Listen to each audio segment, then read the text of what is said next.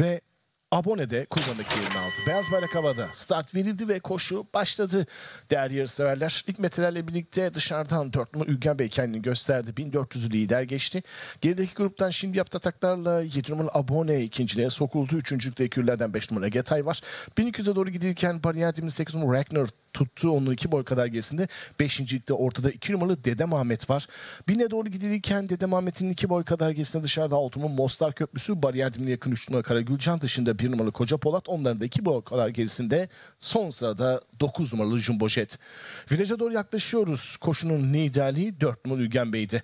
Dışarıdaki 7 numaralı abone. Buralarda onu yakında tutmaya çalışıyor. 8'e doğru giderken 3. bariyer dibinde 8 numaralı Ragnar var. Ragnar'ın hemen dışında ikilerden 5 numaralı Egeta'yı izliyorum o dördüncülükte.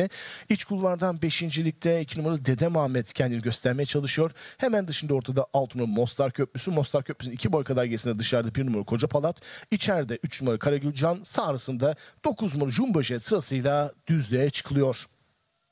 4 numaralı Ülgen Bey düzlüğe önce geldi ancak 7 numaralı abone 400'den sonra yaptığı ataklarla içerideki kır rakibiyle fark etmeye çalışıyor. Üçüncülükte 8 numaralı Ragnar var. Bariyer dibinde 3 numaralı Karagülcan. Gerilerden Ekürler 5 numaralı Getay ve dışında 6 numaralı Mostar Köprüsü önlere gelmeye çalışıyor. 4 numaralı Ülgen Bey buralara kadar direnmeyi başardı. Dışarıdan yaptığı ataklarla 6 numaralı Mostar Köprüsü kendini göstermeye çalışıyor. Bariyere yakın 4 numaralı Ülgen Bey lider 6 numaralı Mostar Köprüsü dışarıdan 1 numaralı Koca Polat etkili ataklarla geldiler. İç kulvardaki rakipleriyle fark etmeye çalışıyorlar. Yine de 4 numaralı Ülgen Bey koşunun lideri 6 numaralı Mostar Köprüsü gelmeye çalışıyor. 4 numaralı Ülgen Bey direniyor ve koşuyu kazanıyor. Bir numaralı Koca Polat ve 6 numaralı Mostar Köprüsü ikinci için yakın ele çizgi geçtiler. Kararı varış hakemlerine bıraktılar. 5 numaralı Getay dördüncü oldu. 7 numaralı Abone tabelayı tamamladı. 4 numaralı Ülgen Bey Fesih Çetin başta kazandı.